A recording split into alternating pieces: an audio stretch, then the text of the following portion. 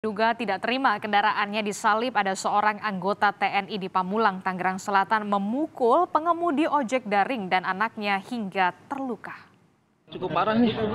Ini korban nih, ini anaknya nih. Seorang pengemudi ojek daring dan ini anaknya mengalami nih. luka cukup serius setelah dipukul oleh anggota TNI. Peristiwa ini berawal saat korban dalam perjalanan pulang mengantar pesanan makanan. Di tengah perjalanan, korban menyalip mobil yang dikemudikan oleh pelaku. Diduga karena tidak terima disalib, pelaku mengejar dan menghentikan sepeda motor korban dan menganiaya korban.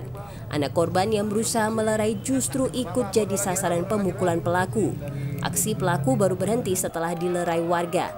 Warga kemudian membawa pelaku ke kantor polisi.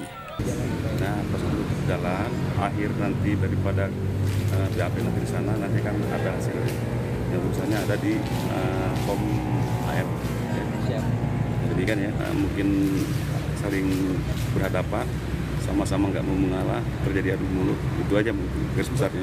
Pelaku diketahui seorang anggota TNI Angkatan Laut berpangkat mayor. Pelaku kini sudah diserahkan kepada polisi militer untuk diproses hukum lebih lanjut. Tim liputan Kompas TV